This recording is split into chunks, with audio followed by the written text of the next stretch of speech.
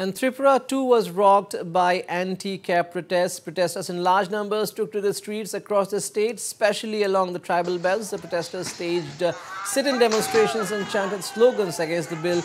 Uh, and uh, protests were also witnessed in the state capital, Agartala. Meanwhile, the Tripura government has suspended mobile internet services in the state for 48 hours in a bid to what it says uh, stop rumor mongering and uh, spreading of fake news uh, as far as the Citizenship Amendment Bill is concerned.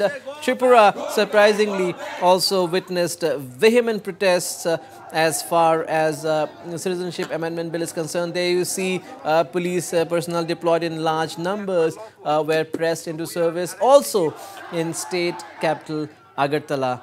And these are vehement protest scenes that we see in the state of Tripura, where it was assumed that there may not be too much of a protest as far as CAB is concerned.